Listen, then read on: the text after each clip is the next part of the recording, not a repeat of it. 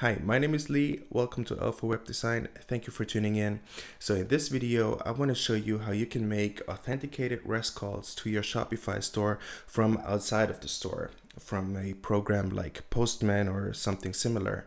And that is a topic that I had a hard time with when I started out. So that's why I want to share it with you today. And if you want to read a step-by-step -step guide on how to do that, you can um, click the link in the description box below. And um, like always, please like and subscribe. That'll help me grow the channel. And without further ado, let's jump right in. All right, so here I am at the admin dashboard of my Shopify store.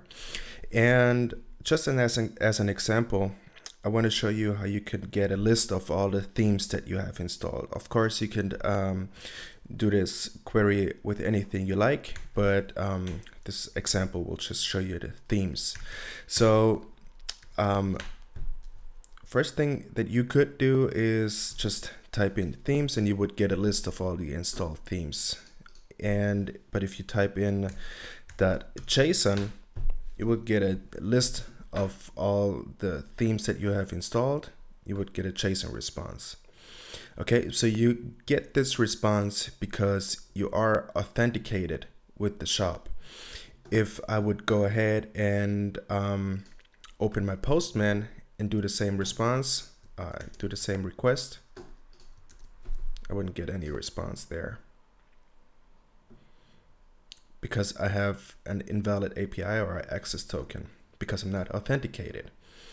So I want to show you how that is done right now first thing that you want to do is go back to your admin dashboard.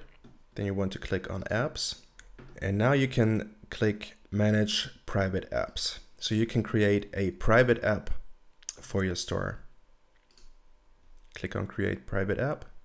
Now you want to give your private app a name.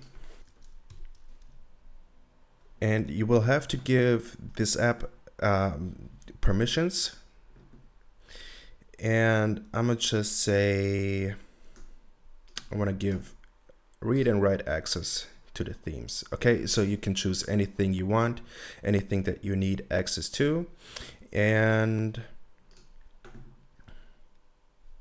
you can also give this uh, storefront API permissions. But that'll do it for now, just for the sake of this uh, tutorial right here. I'm gonna save it and I'm gonna create the app. Now that it has created the app, you can see that I have an API key and a password. And I will need both in order to make authenticated calls from a postman. So instead of typing this request right here, I'm gonna delete it. I will need the API key. I can copy that. Say HTTPS. I will paste my API key. Then I need a colon. Now I need the password.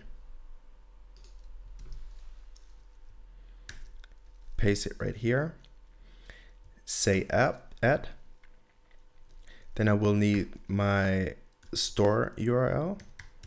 And now I can make authenticated requests.